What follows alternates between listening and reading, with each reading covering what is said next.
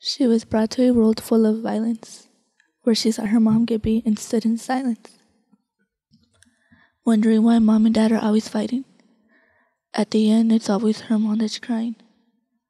Seeing mom with bruises and a black eye, asking God why oh why.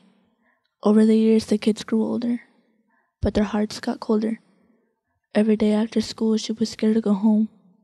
She wishes she was never alone. The beatings the kids would endure. They asked their dad if they could go to the park, and all he could say was sure.